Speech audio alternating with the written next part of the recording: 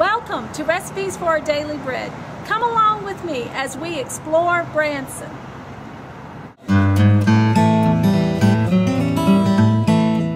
The carriage room is where you watch the pre show before entering into the big arena at Dixie Stampede.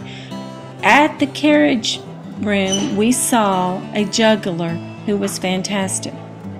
No cameras and video were allowed during the actual show. We are in the main arena at Dixie Stampede waiting for the show and the wonderful food. Again, no pictures or video were allowed in the arena, so go online for more information and pictures of the actual food. These are the shots that we took after the show was over. The show was a great horse show that had Christmas music all throughout it. During regular season, it's the North against the South, and you root for one or the other. You can visit all the horses which are in the show.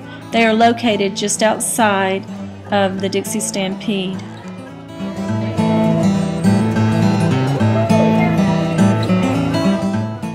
The Dixie Stampede was lit up and beautiful during Christmas. It was actually snowing when we were there. Depending on the time of year that you're visiting Dixie Stampede, they have from two to four shows per day. So don't dinner. For more family fun ideas, visit ouramericantravels.com and like me on Facebook, Twitter, Instagram, and Pinterest.